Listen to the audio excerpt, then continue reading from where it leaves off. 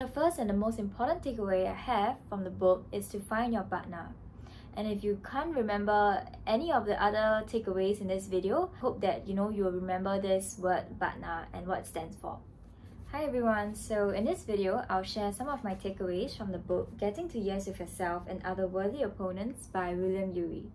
So William Ury, he's actually the author of one of the best-selling books on negotiation called Getting to Yes. And the book was actually published in 1981, which is over 30 years ago. And ever since that popular book, William Ury has actually taught thousands of managers, salespersons, lawyers, and even diplomats on how to negotiate and how we can actually get to yes with others.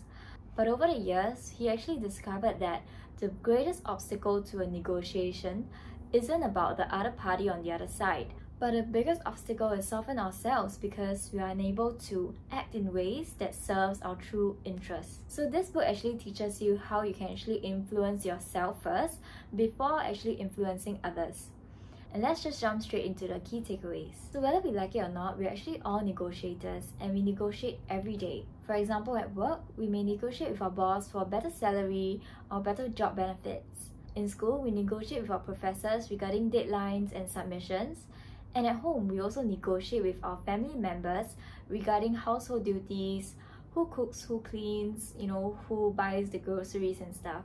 So negotiation actually happens in a lot of aspects of our lives and it happens in all of our conversations actually. But negotiation isn't always easy and sometimes when we don't see eye to eye with someone, it might cause conflict and lead to a strained relationship. No doubt that it's difficult to negotiate with people from the other side, but sometimes the most difficult person to negotiate with is actually ourselves. So how can we actually get to yes with ourselves and influence ourselves first before we actually influence others? So in this book, William Ury actually talks about the inner yes method, which comprises of six different steps. And these six different steps can actually be grouped into three pillars, which is yes to self, yes to life, and yes to others. So just to give a quick overview, yes to self comprises of putting yourself in your shoes, developing your inner BATNA. Yes to life is about reframing your picture and staying in zone. And lastly, yes to others is about respecting them even if, as well as to give and receive. So out of all these six steps, there are a few that really stood out to me and I would like to share them with you. The first and the most important takeaway I have from the book is to find your BATNA. And if you can't remember any of the other takeaways in this video, I hope that you know you'll remember this word BATNA and what it stands for. So BATNA actually stands for Best Alternative to Negotiated Agreement. And in other words, this means that, you know, what is the next best course of action that you have if let's say you cannot reach an agreement with the other party. So just imagine that you're in a job interview and you're negotiating for better salary and better work benefits. Here, your BATNA would be another job offer that you're actually happy to accept even if this current job offer fails. By Preparing in advance and going for multiple interviews this actually gives you the confidence that, you know, even if this current one fails to go through, I'll have other interviews and other offers actually that are lined up for me and that I'll be happy to accept. So by having a BATNA, it's like having a solid backup plan that gives you the power and the confidence to make a decision because you will be less dependent on the other party to satisfy your needs. But sometimes we know that it might not be as easy to develop a BATNA because the alternatives might not be as attractive. Or especially when our negotiating counterpart appears to have greater power than us or actually has a higher authority than us, it's difficult to equalize the power imbalance and negotiation becomes tricky. For example, a client demands last minute changes to be made to the work, but you know, we tell ourselves that we need the money and you know we'll just give in and just accommodate to all his requests. Or when your partner or your loved one disrespects you and puts you down but you ignore their behavior because you convince yourself that I need their love.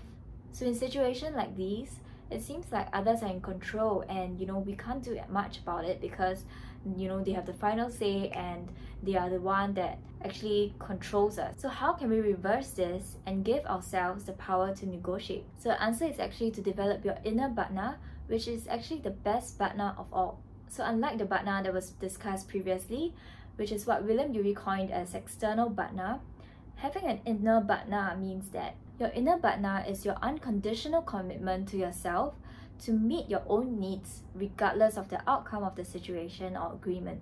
It's almost like making a pledge to yourself, saying that, you know, I'll take care of my needs for satisfaction and fulfillment in my work no matter what or I will take care of my happiness and I will be responsible for it no matter what. The phrase no matter what removes all responsibility from the other party to meet your needs. So instead of placing the responsibility on others to meet your needs and to make you happy, you actually focus on yourself and focus on how you know you can actually take care of yourself.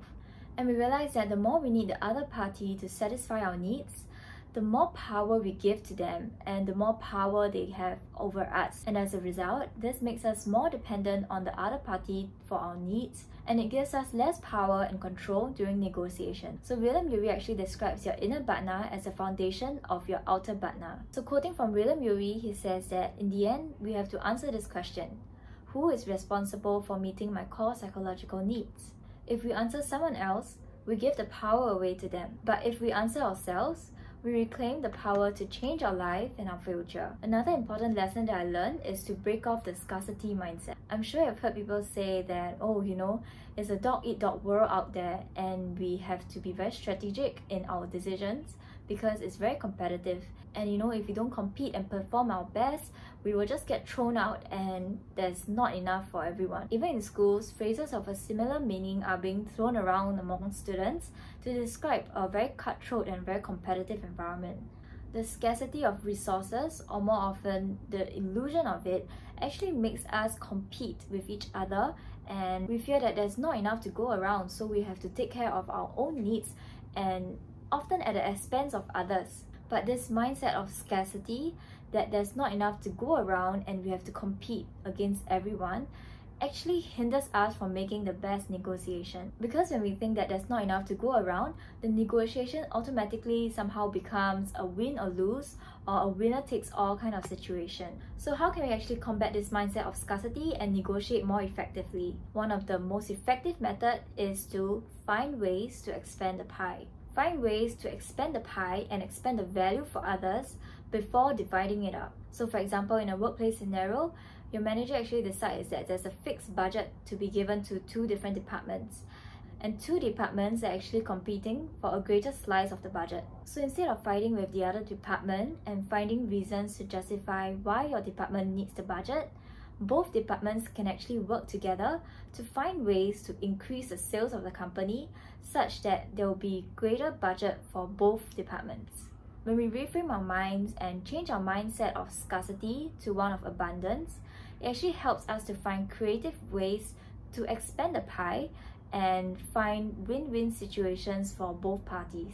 And to take a negotiation one notch up, Instead of a win-win situation, you can try to find a win-win-win situation whereby you benefits you, the other party, as well as the greater community or the society. Think about how your actions impact the greater community and perhaps how can you potentially scale up your efforts such that it benefits more people. Because the most successful people in life are givers and not takers. Instead of claiming value for yourself, we have to think about how we can give value and create value for people. So quoting from William Ury, he says that by changing our default mode to giving, not only can we get to yes with ourselves, experiencing inner satisfaction, but we'll also find it easier to get to yes with others, experiencing outer success. Here's a quick recap of the points mentioned. Develop your outer Batna by having a backup plan prepared so that you can have more power and control in a negotiation. Also, develop your inner Batna by making a pledge to yourself that you will take care of your needs no matter what the outcome is. Break off the mindset of scarcity and look for ways to expand the pie. Think win-win or even better, win-win-win for you, the other party, as well as the community at large. Have you heard of other useful negotiation tips? I'd love to find out and do feel free to leave it in the comments below and I'll reply to all of them. And also feel free to share your thoughts about your favorite takeaway from the video. This is Tess here and I'll see you in the next video.